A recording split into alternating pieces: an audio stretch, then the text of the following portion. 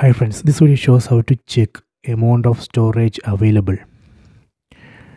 Go to settings, select this settings icon, go to system,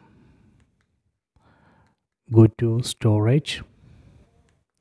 So here we can see internal uh, shared storage, total space 4.4 GB. So this is a total size of the storage 4.4 GB. Select it here we can see apps. Apps are used 2.4 GB go down. You can see the cache data 22 MB then here we can see the available available space. That is 1.6 GB so this is the uh, free space.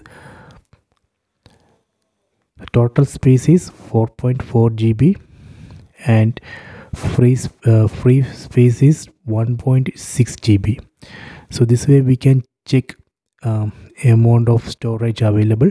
So I hope you have enjoyed this video. Please subscribe my channel. Please like and share the video